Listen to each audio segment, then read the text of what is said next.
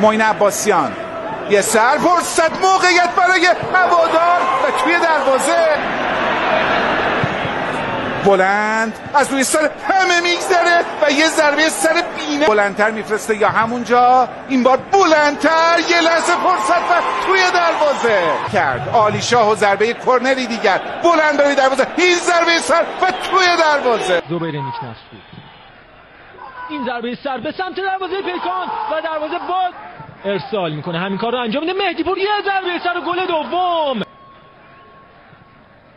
نیکنفس میفرسته برای متحری می‌زنه و دروازه. مقانلو با ضربه سریمار یاسین سلمانی فرصت داره. دو بازیکن از پیشو برداشت نفر سوم یاسین س... می‌کنه کرار مستقیم. یک فرصت توی دروازه. فرستمی یک ارسال. فرصت فرصت و توی دروازه. گادوین منشا پشت تو ایستاده حرکت می‌کنه به سمت دروازه و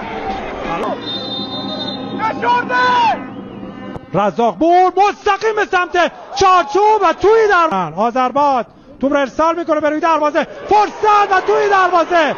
گل دوم برای مصر رفسنجانی همچنان صاحب توپ می‌بره به سمت راست. آذرباد ارسال به روی دروازه و توی دروازه.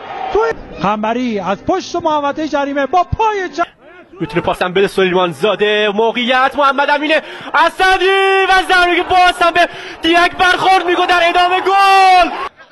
اصلا منطقه بازی رو عوض کنن که موفق نیستن. حالا در ضد حمله چه فرصتی؟ چه موقعیتی؟ فرصت و گل!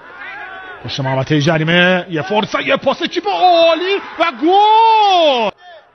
چه کدوی خوبی انجام شد؟ حالا ارسال و گل دوم. فولاد خوزستان و یک ضربه. رضا ارسال کوتاه. فرصت توی دروازه.